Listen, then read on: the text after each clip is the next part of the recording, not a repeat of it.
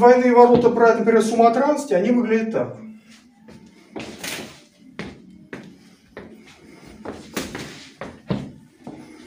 Или так.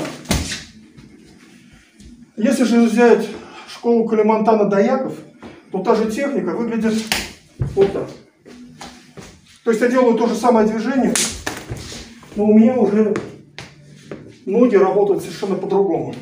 То есть на этом движении, видите, я уже иду сразу вперед.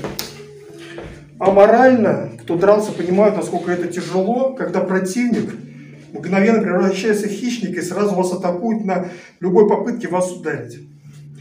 Конечно, это не панацея, но тем не менее, это вот именно принцип даякских школ Кунтау, Пинчак, Веселот.